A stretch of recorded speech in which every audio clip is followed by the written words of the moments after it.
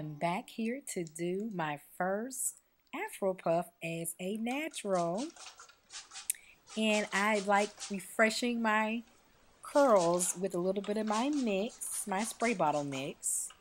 And that just helps me to wake my hair up and helps it get into the right direction for the puff. And I believe here I was working with a two day two day old wash and go here. So it really didn't take much for me to just to get my hands on through with my moisture mix and just kind of finger combing on through.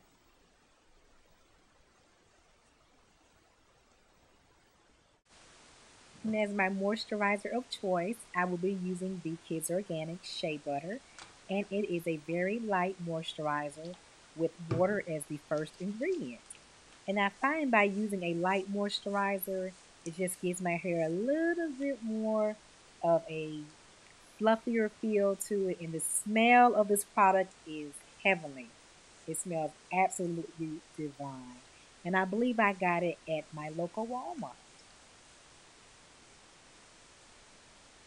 And here you will see me just smoothing the moisturizer through my hair, just trying to coat each section evenly.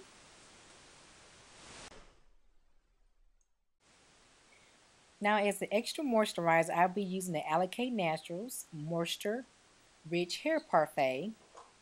And I like using this product just around my edges before I start applying the gel. And a little bit of this product goes a long way.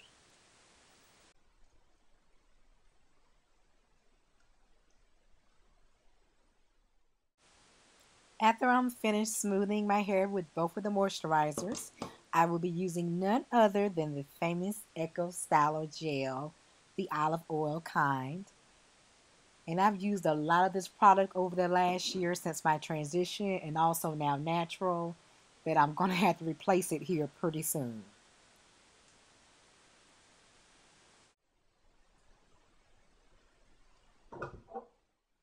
I'll be using my boar bristle brush and it is a very soft brush that I like using around my edges to smooth in the gel.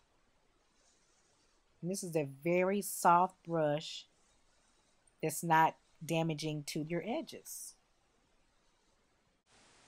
Here I'm using the Goodies headband and I've used this so many times you all that I've actually stretched it out so it's not too uncomfortable around my head. And you'll see here how I'm just tying it around simple here and just applying one piece at a time and smoothing all the way through to make sure there is no kinks or knots. And I'm taking the other part and doing the same.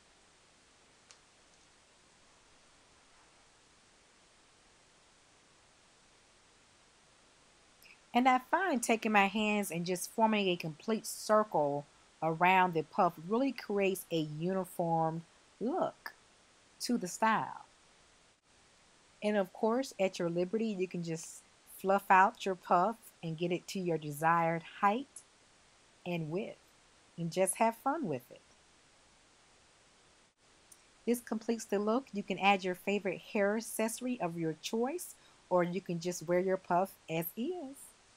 You all take care. I had a great time. Bye bye.